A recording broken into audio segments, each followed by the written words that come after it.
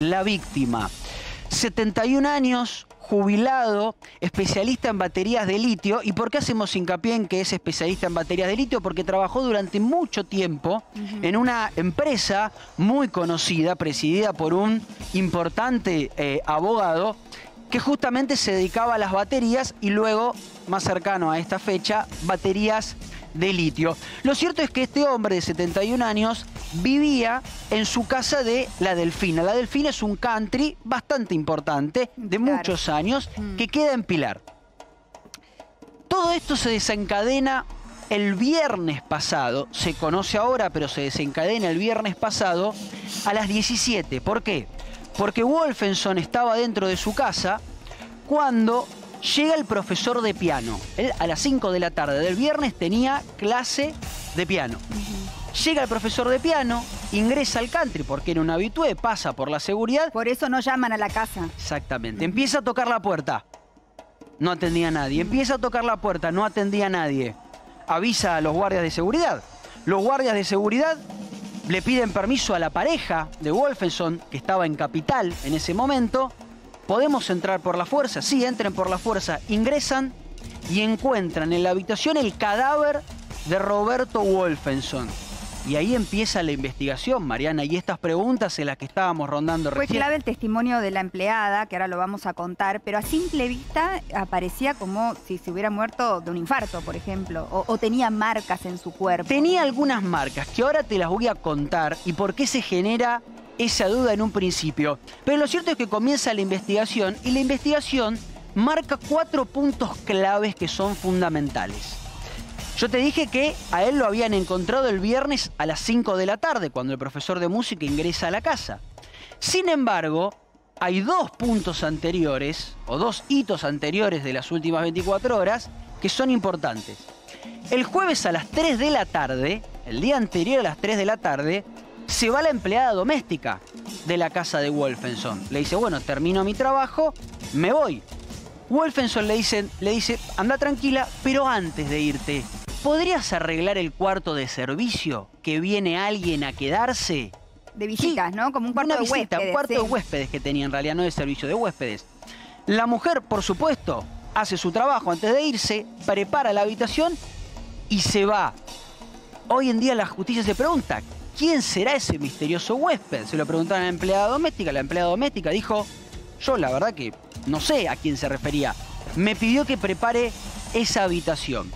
Lo cierto es que llega, como decíamos, el viernes a las 5 de la tarde, pero el viernes, ese mismo viernes, a las 2 de la tarde, se da la última conexión de WhatsApp.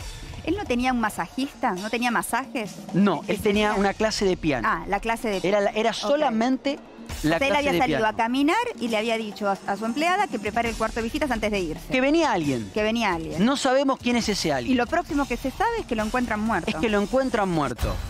La empleada doméstica fue la última persona ¿Y en verlo con vida. de, de ingresos al, al country? Ese es un punto fundamental. Va el fiscal, Germán Camafreitas, pide el registro de ingreso al country. Lo primero que haría cualquiera.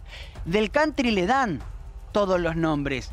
Pero la gente del country, oportunamente, negligentemente, no discriminó a qué lote iba cada una de las personas. Es decir, al fiscal le dieron un lote, un lote con cuántas personas Claro. habrán entrado ese, ese entre sábado entre el, el viernes. Pero, pero el 100 country personas. tiene ese registro. Tiene ese registro. Ahora lo que están haciendo Una es tratando de discriminar ahora. Claro. Lote- a ver, este, a, do- ¿a qué lote fue? Y fijémonos, preguntemos, ¿a qué lote habrá sido? Están yendo lot, a ver Claro. quién fue lote por lote. ¿Es una sola puerta eh, por la que ingresan o hay alguna chance No, de que la dos. persona no haya ingresado? Dueño y visitas. Ahora la pareja... Dueño ingresa No, con y la gente que trabaja.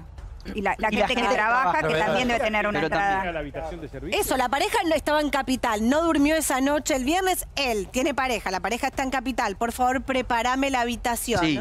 Hay algo ahí Pero que tal vez da esa para persona es de sospechar. adentro del country. Por supuesto, no digo que no, pero No, digo... la mujer se ha ido de viaje, volvió de viaje y no fue a dormir a la casa, porque no es la mujer en realidad, es la pareja, Sí. una especie Ah. de novia.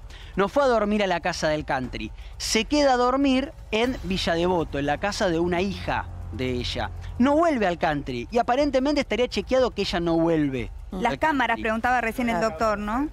Hay una sola cámara que podría ayudar, que es de una casa vecina, pero no, pero- muestra la puerta de ingreso. En el Pero, recorrido. digo, pero las cámaras que Claro. controlan la velocidad. están- Sí, las olas que que controlan te la meten velocidad. multa en todos lados. No, No, va a decir por que acá no tienen cámara Por para supuesto. Ahora, vos sabés, Doc, que hay que revisar mucha cantidad de horas para poder determinar algún auto que no sea de una visita, que no sea de un propietario, que no sea de alguien que estaba trabajando. Claro. Es un trabajo que lleva mucho Pero cuando tiempo. uno ingresa a un country te piden documentos, te sacan una foto, o sea, hay una cantidad de datos Persona. que da que llama la atención que Y te después cuando vayan a una multa registrar. antes de que llegue a la casa. Además, Pasaste porque de 20 pasaste los 20 por hora. kilómetros. Y otro dato Pero ahora que les está- doy. estamos, perdón, estamos pensando que es una persona que ingresó. Y si es una persona que ya vive adentro. Bueno, esa es la otra hipótesis.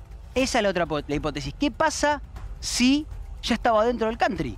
Bueno, va a tener que investigarse eso. Pobre hombre. ¿cómo, ¿cómo lo encontraron? A ver. Lo- ingresa el profesor de música, profesor de piano, y lo encuentra. Este dato es importante.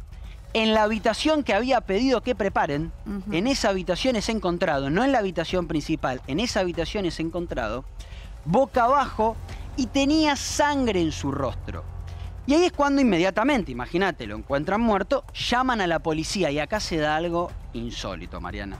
Llaman a la policía, llega la policía científica, empiezan a tomar todo como si fuese un homicidio, ellos tienen experiencia y decide, ya- llamar al médico de policía, al- como pasa siempre, al médico legista que Claro. corrobora la causa de la muerte. El médico legista dice, es una muerte natural. Se miraron todos. Acá es donde eh, eh, no- nos trae recuerdos de ¿no? de García María. Marta. sí. Se miran todos y dicen, ¿cómo una muerte natural? Sí, esto es una muerte natural. El fiscal Andrés Quintana, con buen tino, dice, igual le vamos a hacer la autopsia. Al día siguiente, a la mañana, la autopsia revela que efectivamente era un homicidio. Que en realidad el médico de policía se había equivocado, o vaya a saber uno por qué lo dijo mal, pero no era un Es infarto. difícil haber lo habían ahorcado. porque tenía marcas en el cuello. Sí, pero había Sí, usado Pero un Martín pregunta con Habían un hilo, eso. un hilo tanza. Era un hilo hilo muy, era un hilo muy finito, Claro. que deja un surco, pero es muy, muy finito. A ver, el hilo tanza no es algo que habitualmente se encuentre rápidamente en una No, casa. O sea, que- Cierto, buen punto. que, no. quien eh, lo asesinó con hilo tanza llegó con el hilo tanza. Muy probablemente. muy sea, iba a probablemente. matarlo. Iba a matar. Aparte, la casa estaba intacta. Claro. Porque el día anterior se no había estaba empleado. desordenado, no faltaba No nada. estaba desordenada. Ahora, y te Martín, sumo un dato más, perdón. perdóname, André, Sí. esto nada más. Sí, sí, sí. La llaman a la empleada doméstica, fue la última persona que lo vio con vida. Claro. Cuando la empleada anterior. doméstica empieza, el día anterior. El día anterior. Cuando la empleada doméstica empieza a dar su testimonio, la policía científica le hace notar que adentro del lavarropa había una sábana que estaba lavada. La empleada doméstica jura y perjura que ella no dejó ninguna sábana para lavar. Es más, la empleada doméstica dice que esa sábana que estaba en el lavarropas lavada es la misma sábana que ella puso al momento de preparar el- la habitación de invitados. Mm. ¿Quién sacó esa sábana y por qué la lavó? ¿Pudo haber sido la víctima antes de morir? Pudo Pero haber eso tuvo sido. mucho tiempo, imagínense, ¿no? Lo mató, lavó la sábana, Claro. o sea, buscó ¿Por qué no se llevaría la sábana si fue el asesino? También pregunto yo, por ejemplo. Claro. qué Ahora, cuando entra el profesor de música, ¿no? Que le dicen... Profesor de piano, sí. De piano, perdón. Eh, entra, entra, ¿entra solo o entra con la guardia del No. canto? No, entra guardia. acompañado. Entra acompañado. En realidad es así. Llega el, el profesor. de- Menos mal, pues me- imagínate si entraba solo ese hombre, mal. termina siendo Sospechoso. quizás un sospechoso. El claro. profesor de piano toca la puerta, nadie lo atiende, avisa a la guardia.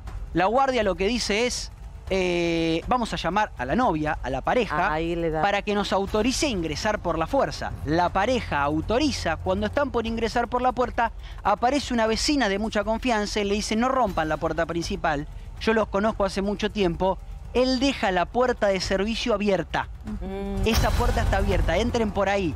Van por ahí, el primero que ingresa es el profesor de piano, empieza a gritar, Roberto, Roberto, Roberto, no responde, sube y se encuentra con el cadáver.